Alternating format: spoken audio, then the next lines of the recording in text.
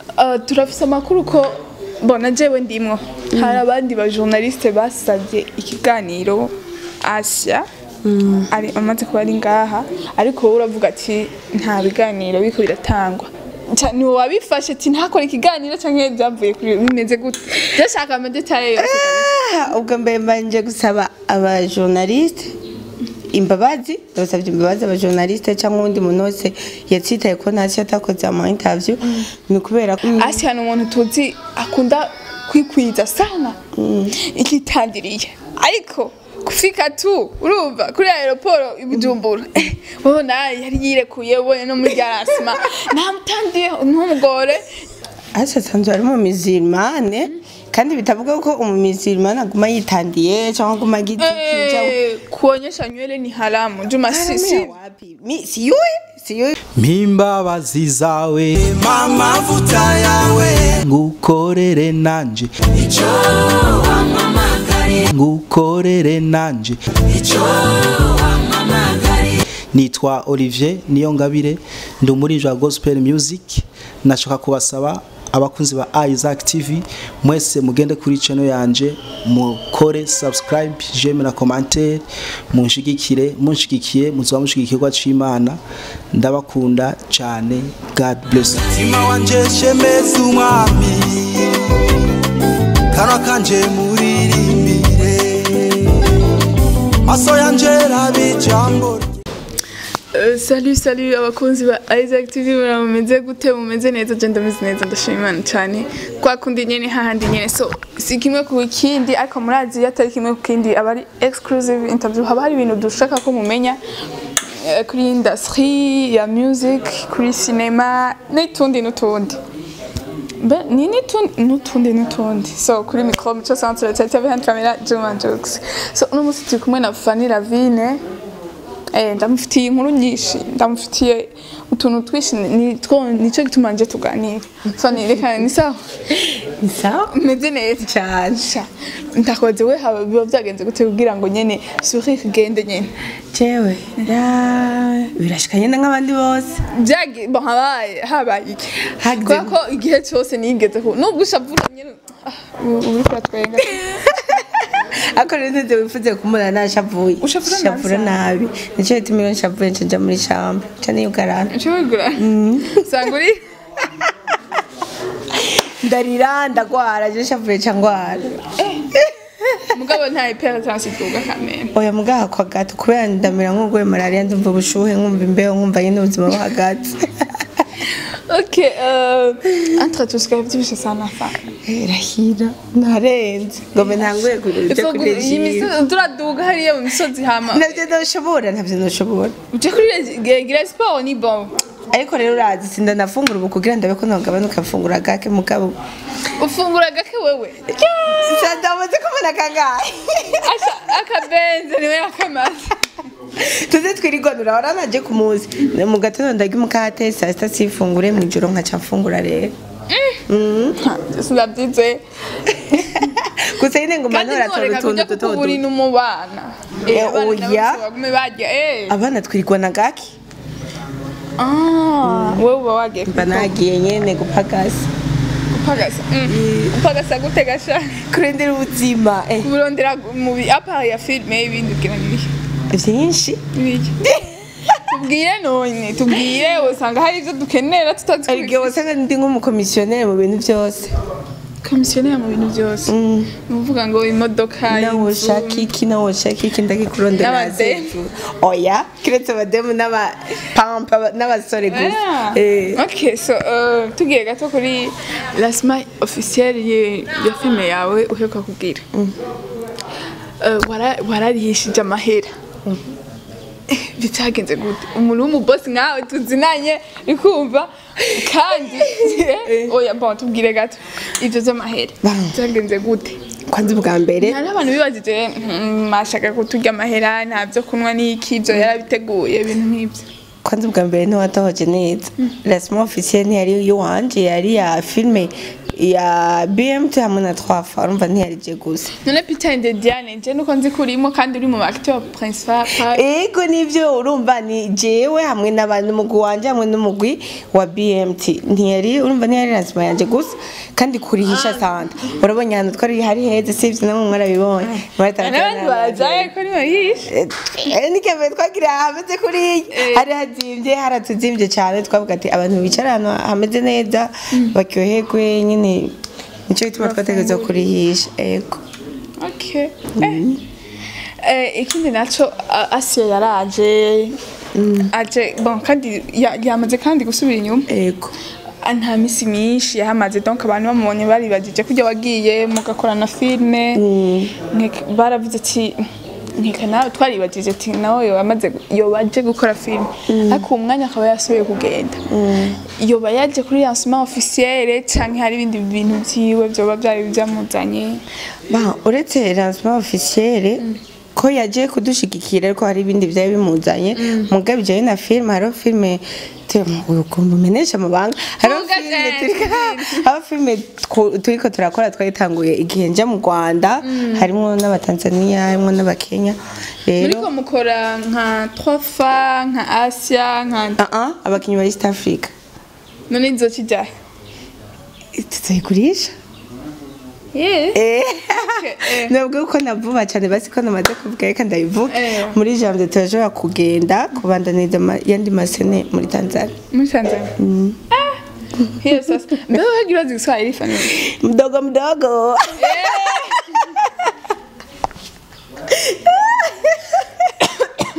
ubu tugeuze nani interview tuseme tu kiswahili. hapana we tuko burundi na tuko barundi tuongee kwa kirundi. Burundi lakini Burundi wanajua Kiswahili na wewe unakijua. lakini pako wenyewe hawakijui.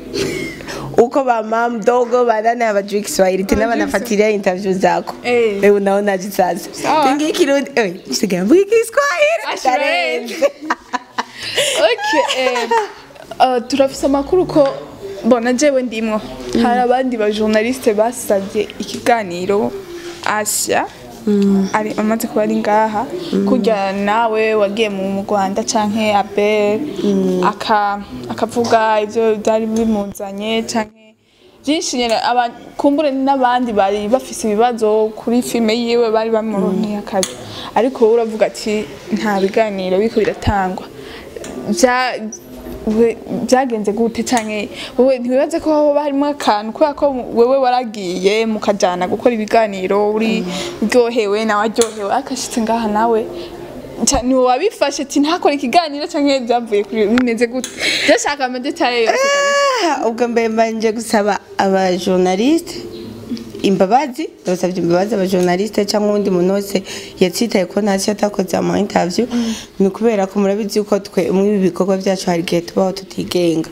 Ugasanga management yawe hariho ibyo mwavuganye udashobora kurengako nawe nuko byari bimeze. Management yiwe nta ruhushya yari afitiye bwo gukora ama interview. Jewe igihe ngenda nk'uko ryari rya mbere ndenze umupaka je nisabye ati ndagusabye ibiganiro nk'igihumbi. Hajya nakoze nabike ku byo ndashaka ku byo ndashaka nakoze nabike urumva je narabisavye igihe ngenda ati je mbwa nawe nzoza ndakena ama interview ariko wibuke yuko n'ama interview nakoze sinigeze mvuga ko iki gikorwa kandi mwameneje ikibanga ko iki gikorwa tugiye gukora. Uretse yuko aje taka! Uretse yuko aje kuntegera yabivuze yuko hariho iyindi iyindi ntuze dufitaniye iyindi projet tugombe dukora nyine nka East Africa atari gatari na gusa mwarumvise ko tutigeze tubivugako. Rero n'ubu urumva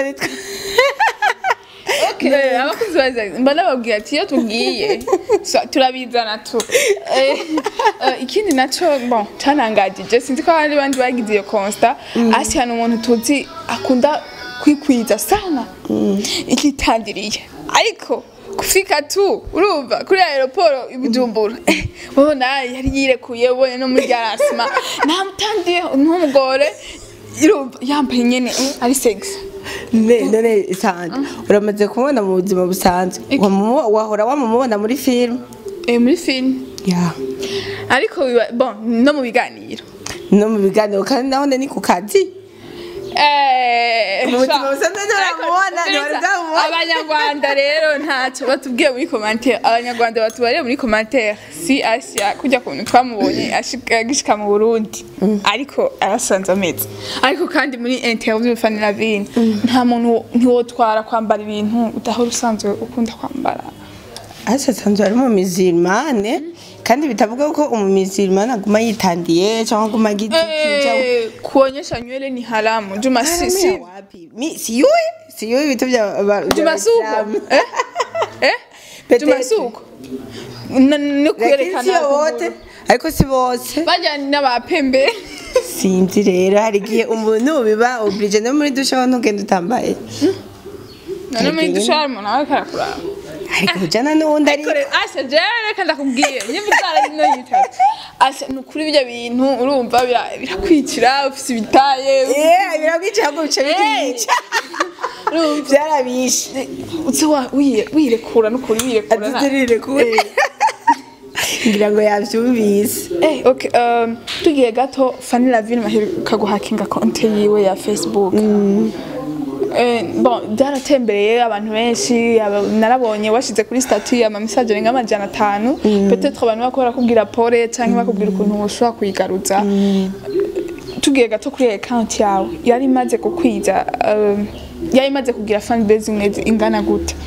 Ah, irenga ibihumbi. Modite nabonye ari 32k irenga. Eh, 32k irenga hamwe Mbere na baho- 11 ba- bahe- ba- bahakinze Facebook yonyene. Ego.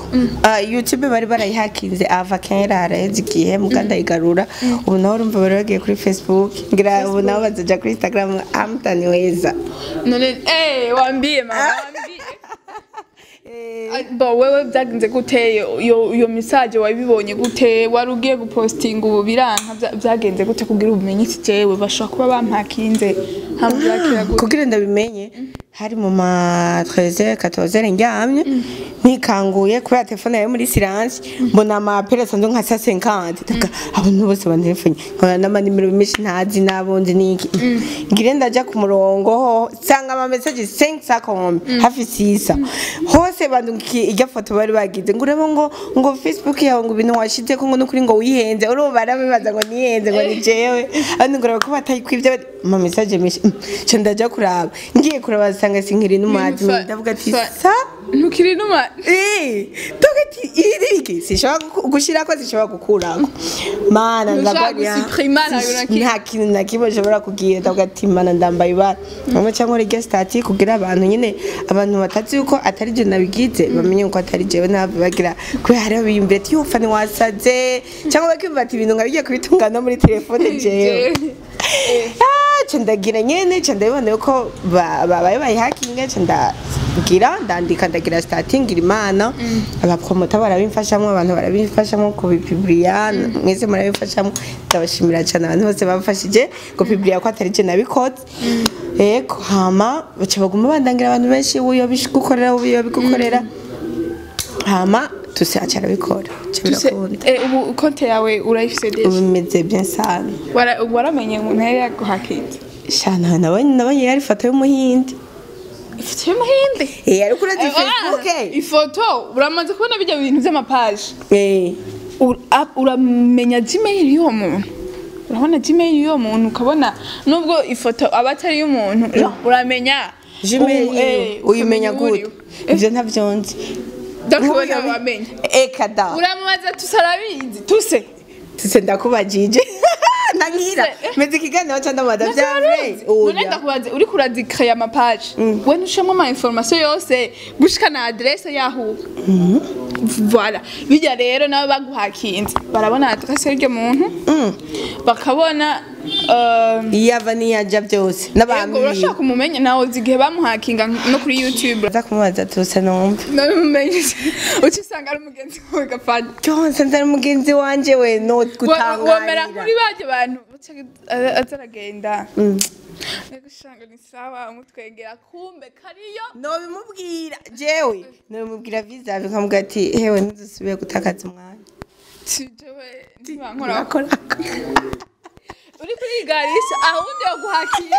Nibagerageze basabe ati ntuzosubire no sishobora kumusaba ngo ntazosubire n'ubu nazi nawe bashaka no kuntera muhira. Naza bumururuga do no muhira. Cisi ntinya. ubwo rero ufise amanti ba!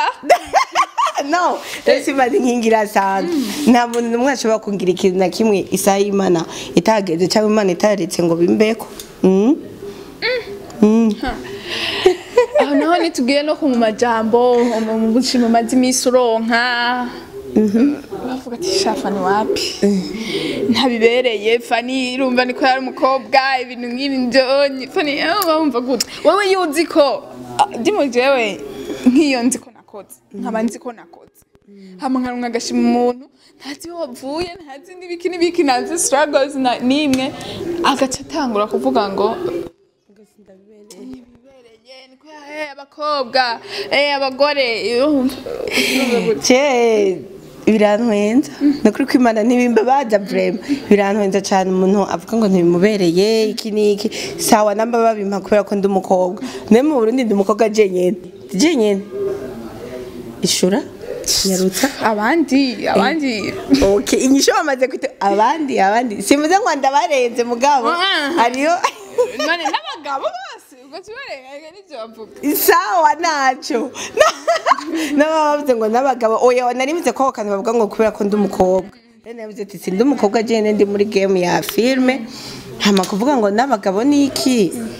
Petetre ko ari igihe canje nawe igihe cyabo kizogera kandi amashurwe aruma kabisa yandi nawe uriteguye kuhava i don't care. Sawa. So uh, fani hari ibintu mu- muri industry ya music? Eh? bon fani hari ikintu bakunda kuvuga muri industry ya music? Ati bon bimaze iminsi bivugwa kandi bivugwa n'abantu batandukanye ati twasanze muri industry harimo hypocrisie nyinshi harimo urwanko rwinshi abantu ntibakundana. Nawe uravye muri muri cinema. Genre y'uburundi uravye abakinyi aba upcoming abamenyereye. Uwe nawe ubona hariyo urukundo koko canke hariyo hypocrisie nk'uko n'ahandi biri bimeze gute? Mm, ico rero ndakubwire umuntu wese yocishura bivanye n'ukuntu n'uruhande ashaka kurabamwo ibintu. Ashaka kurabamwo ibintu gute? Hariho nk'ubu uvuga wewe ahantu uri. Uri hamwe nyimba ari n'umuntu yigeze ko umusare kera muri sinema. Bavugana. Soit umurondera cyangwa akaba yarakurondeye. Nujya mu upcoming ashobora kukuvugisha. Ukumva ibyo agona cyangwa ibyo avuga. Nawe rero ndabikubwiye kubera ko abo bantu bose en uri nka intermediaire yabo. Wewe gute? Ubibona gute? Niko biri cyangwa hari kuru- hari nawe urukundo mvuze muri ati hari ibivana nu- n'uruhande ushaka kubirabamo. Urukundo rurahari. Ariko gusa hari umuntu aba ashaka ko urukundo rwo kuguma tumeze nk'uko ntibikunda. Muguma mufata- biragoye. Urumva ibyo biragoye kuguma urukundo rwa rundi rwa seresere. Ntibikunda. Mugabo rwo urukundo rwo kuvuga ati ubu reka ndam- dufashanye Natwe uku n'uku n'uku n'uku. eh, tumushyigikire tugire iki? Rurahari Murashyigikirana. turambona nyine ko bimeze ntacyo bibaye. Kandi nta bavuga gute nta ibura ka agaki. Sinzi ukuntu babica. Nta nyambo nta ibura- agahonzi. Urumva? Nta nyambo ibura akahonzi rero urashobora ku- kuba wewe uvuga ngo nk'ubu unyi hariho abo numvise muri garansima iheruka bavuga ngo ntibazoza ngo kubera ndimwo ngo ndishima ngo barampamagaye ngo ngende gukina ngo ndabarihisha. None gasha santa nk'ubu je nureka kurisha gute? Umpamagaye nze gu- gu- gukora filime yawe. Abana ndabagira inzu ndayiriye. Imodoka ikenera igitoro. Ibintu byose amafaranga. Mugabo rero cinze agashe santa. Nirigwe jewe kuri tera nirigwe ndakina kandi si ukuvuga ngo ngo ngo ngo ndishitse hejuru ariko hariho aha urugero imana ingejejeko antwa nje mu gikorwa cyawe hariho aka abantu kanaka abafana kanaka ndakuzanira sivyo cinze nirigwe muri tonaje yawe ndahirirwe kwagusa abana nta n'umukate wa meridese nza kubatahanira none wumva nzoca mbaho gute Eh, Bashaya mwavyumvise Eh. mumpatie pesa akure Eh, I need money. Nanje hari ayo natanze kugira ngo ngire ngaha harayo watanze. Yeah. kandi nawe nawe ukinisha se nawe urabariye? Jewe nabo nkinisha nibaze babivuge. Nawe ntashobora kuza gukina. Nti- ntashobora kuza gukina. Ngo atahe ataye umukate afise ntibikunda Yeah. sawa. Okay mwumvise muzo muguri mukatama akire muri filime eh entre cyawe waraguze n'imodoka rusi ko yavuye mu- muri filime gafana cyane cyane n'umufana oya ni ukuri kw'imana no no no, oya. Uramwihakanye yaguhaye kado ndamwihakanye ndamwihakanye ntawe uhari. Kandi usigaye usa neza nk'umuntu wafise umuntu amwitaho ndamufise vrema Eh? ndamufise bya vrai muga atari atari ntunze atari peter. Oya mugeni wa filime Mugeni wa filime. ndamufise wa filime nawe ni amasitati yanje sawa ya uwo ntawe ushirako nawe turabona murabe n'ubu nyine kuri sitati ariko iva ndabira iva ndabira ndabira reka mwe murabasazi ndabira turabera ndamufise vrema je ndi okipa ubu nyine ubu uri okipa ubu nubwi urashushe urakunda kandi aramukunda cyane bambaye amashasha bariko nubwo nyine wafutse mwifashashi cyane. We bane ikiganiro. Oya tubwire tubwire tutatsitara oyaye oya mu majambo make. Ni kuri ubu tuza kurondera kandi na ndi okipe ubu uri okipe sawa. Basha urumva amakado bari bahora bayazanye musubize inyuma. Nta bayazana ngo ni kubera ibyo. Abo bayazana nabo ngo kubera ibyo. bahagarike. Asanga nasubira no kukubaza ikindi kibazo. Noba ntumvise reka nisezerere. Akandagushimire fani twayaganiye neza. Urakoze cyane santa. Abakunzi ba isaac tv ndabashimiye. Wogenda ubabwiye ya? Ah icyo nagenda ndababwiye? Cyangwa ubasabye? Ni ukubandanya badushigikira babandanya badushigikira babandanya batahura. Aba journaliste ndongenda basabye imbabazi abo batsitaye ngo sinatanze ngo ase ntiyatanze interview. Ni ukuri ko imana ndabasabye ikigongo aba journaliste. Si jewe. sishobora kubikora ibyo bintu ushatanda ni ukuri ko imana nasabye ikigongo mwakingiriye. Ego Okay, urumva ni uko ndabashimiye mubandanye mupartage ibiganiro byacu mubandanye mudushigikira kandi mugire umwaka mushasha. Eh? Mugire umwaka mwiza mushasha wa utarahe. 2022 ugomba uhera hasigaye iminsi ngo muhere mu Eh, isegonda rimwe harashobora kuba ibintu bi- bi- bi- nanjye bihambaye. ndabifurije rero iminsi iyi minsi irangiza umwaka ibabere myiza. Barindire buhari reka shabo amafaranga azoza. Aba barindire umupfakazi season 2 nshore akira icyuma. Barindire umupfakazi season 2 iyo le 3 nzobashyize ko episode ya mbere. Hamwe na n'ibindi bya bya ntuzeya by'udushoti movie tw'icyongereza n'igifaransa navyo nyene bizotangurana no kwa mbere. Igifaransa n'icyongereza? Mama urashishe we are international. Okay so so abakunzi ba Isaac TV reka ndabashimiye ndababwira ko ndabakunda cyane nakubwiye umaze kugira subscribe urabizi ni we mu boss wacu amasimbira kwa Fanny Lavine ariko ukimubona cyangwa ariko ukibona ikiganiro ca ciwe utaragira subscribe genda ugire subscribe. Akina neza cyane uzobona amafilimi uzobona ama- amaserie n'ibindi byinshi. Ntiyicara bavuga ngo kunyoteza abafana ntanyoteza abafana. Kirazira. So, uh, kuri mikoro ni muco santa behind camera Juma Jux. Be mama joyce kumenga wataye umutwe n'amayi reka cyareka papa gloria aho ubona nataye umutwe. Mu mezi w'uku kwezi na yo ifise urubanza rwa dote na mariage ya kaga kuzine kanje. Aho rero mama na papa wiwe sibo bazoba bari bari mu gihugu ca canada. Bashaka kubikurikirana ikibiriraho kuva bitangure mpaka bihere.